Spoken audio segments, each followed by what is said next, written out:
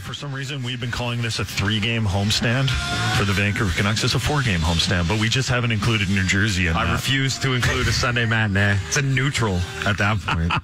Uh, the Canucks are now one and one on their four-game homestand. They lost 2-1 to the Devils, but bounced back with a 5-3 win over the Nashville Predators. They play Thursday at home against Dallas, Saturday at home against Colorado, and then they embark on a six-game road trip. And this one's going to be a tough one. Dallas, Nashville, Washington, Philadelphia, Pittsburgh, and Edmonton. But last night, the Canucks broke their four game losing streak, and three of those had been in regulation with a 5 3 win over the Nashville Predators. J Pat was there. Uh, J Pat, where do you want to start with this game? Because we talked about it earlier in the show, and there was a lot of names that, that stood out. I mean, Demko was good. Horvat played a ton. Pettersson scored twice. Tanner Pearson scored twice. Adam Gaudette scored. Uh, where do we start with this game? I think for me, I would just start with the overall result, and it was sort of my number one takeaway in the takeaways that I wrote and that are posted at tsn1040.ca. Like they just needed that win, right? Like you can only tell yourselves that you're playing well and doing the right thing so many times if you keep coming up a goal short, especially if you're only scoring one goal. And man, who saw that coming? Like it was scoreless after one and one one after two. Like I didn't see this sort of goal fest happening, but uh, every game takes on a life of its own.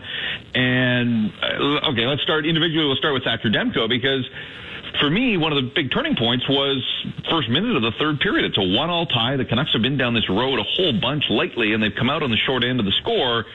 Roman Josi sets up Kyle Turris on the doorstep, and Demko, who made a bunch of good saves on the night, that may have been his best and probably his most timely. I mean, if the Predators score there, who knows where it goes from there, but Thatcher Demko made that stop, and then the Canucks were off to the races. So, you know, he allowed three on the night, but I think you could make the argument that that may have been his best game of the season so far. Go back to the game in St. Louis as well, where they were down three to one, and he couldn't afford to give up another, and he didn't. So uh, he has been terrific, and I think that's a fascinating poll question of who is having the better rookie season now, because very quietly, uh, I think that you know the focus may shift to Thatcher Demko. and Maybe it'll go this way all season long. I mean, Quinn Hughes has been a ton of fun and is a huge part of what the Canucks are trying to build. But look, since his injury, he's kind of been quiet. What does he have? One point, I think, in the last five games.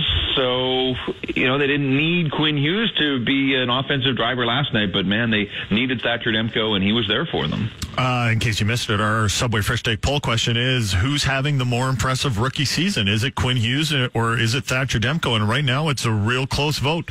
600 votes on Twitter, 52% are giving the edge to Thatcher Demko. Jeff, uh, I imagine the guy who felt real good about scoring last night was Tanner Pearson, and he ripped home that shot. That was uh, we were saying that was like the Brock Boeser's goal against New Jersey. He just ripped that one, and they added an empty netter in the end. I mean, that was one of the guys that needed to score to kind of make uh, to make it go from like losing a two-one game to actually winning some of these games. Yeah, and Ryan Ellis is still looking for Tanner Pearson at the Nashville blue line. Like he made a nice move Yeah. to create some space for himself. I, guess I look at that and I think. Like, look, slumps are going to happen. Tanner Pearson is sort of a 20 goal scorer, probably at the top end now of his career. But you see a goal like that and you think, like, why can't that happen once every five games instead of going 14 without? Because you're right. Like, that looked like a National Hockey League goal scorer in full flight. And I, I love the fact that the Canucks have scored, you know, power play goals off the rush, like completely unconventional power play goals in back to back games. But hey, whatever it takes. And, you know, people always say, oh, guy just needs one and maybe he'll get on a run now. And maybe he will. We saw that he's capable of that after the trade from Pittsburgh last season. But yeah, he had gone too quiet, and there was a lot of talk about him and Bo Horvat. I mean, they were split for the most part last night, although Horvat ended up playing with everybody uh, due to the circumstances. But uh, yeah, I mean, you could tell afterwards there was some relief. And I think too for guys, like it's one thing if you bump your own personal slump, but your team still comes up short. You know, to contribute the way he did to a much needed victory, I think is just value added for a guy like Tanner Pearson. I guess now we'll, we'll put the pressure on Josh Leivo because he's now stuck exactly. at two goals, and you look yeah. at his shooting percentage, just 5%, and it would make a difference if he started scoring uh, a little bit. Um, okay, let's get into the situation now with Brandon Sutter because this impacts a lot of people. We're going to assume that Jay Beagle is going to be able to play in the next game and isn't out long term with an injury. Um, if Brandon Sutter is out for long term, um, first of all, you lose his penalty killing abilities, uh, but also more work goes to Bo Horvat. Certainly, it did last night when Bo Horvat skated 27 minutes out there. But also, you have the question of how much of it should go to Adam Gaudette. What are your thoughts on this?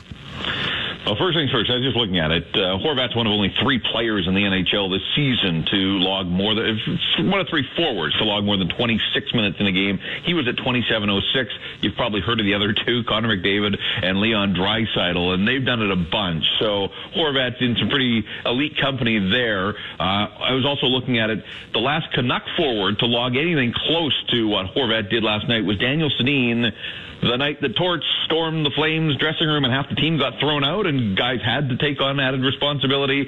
Uh, Daniel played more than 28 minutes that night. So it's been a while since a Canuck forward has been asked to do as much as Horvat did. And 27 in and of itself is nuts, but almost 12 minutes of the third period and almost five minutes of the final six. I mean, they just continually rolled him out there and he was up to the challenge last night. And, you know, that's what you need from captain and a leader, but he can't be doing that on the regular. And so you're right right. Uh, the question is then, you know, who else can shoulder some of the load? I know Ben Kuzma saw Brandon Sutter briefly and had a quick chat with him post game, and you know, the indication was that it isn't maybe as serious as uh, some people thought for a guy that's had a couple of abdominal surgeries, but we'll have to wait and see. Full mm-hmm. team day off today, so uh, we'll see if we get an update.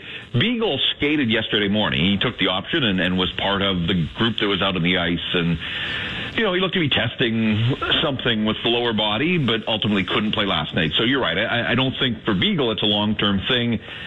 But I think you could sit here today and make a compelling case that a page should be turned, and Adam Gaudette should be the third line center for the Vancouver Canucks moving forward. Two points last night. He's got six points in the nine games. I know it's not all about point generation, but uh, Brandon Sutter is off to a decent start offensively. He's got five goals but only three assists. And we've talked about this at length with Brandon Sutter. He's not a playmaker. He's not a puck distributor. He doesn't make the guys around him better. And some of the reasons some of the depth guys have been in these lengthy skids offensively is that, you know, they're not getting service. They're not getting the puck in positions to score. Brandon Sutter can still do Brandon Sutter things from the wing. He can take faceoffs if he has to. He can still be a penalty killer. But I think Adam Gaudette, like he made this team out of training camp. He is one of their 12 best forwards as uh, things go right here, right now. Why not put him in a position to succeed at his natural position and let this be the start of the Adam Gaudette on an every night basis playing center in the National Hockey League era? Like, make it happen. I, I don't think it will just yet.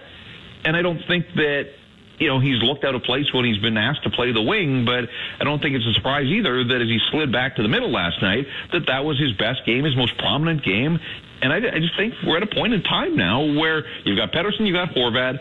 You know, we've all looked at this sort of as the big picture that, you know, Adam Gaudette, if he could slide in and lock down that third line center and be effective there, you know, I mean, that would be a real help to the hockey club.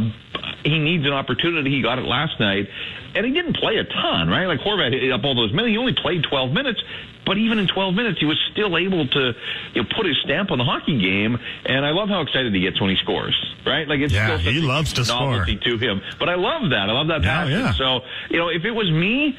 And I, I do hope that Travis Green and that coaching staff will take a long, hard look here because I, I, I think the Canucks are a better team offensively with Adam Gaudette as their third line center than Brandon Sutter. Jeff, good stuff today, man. Thanks a lot for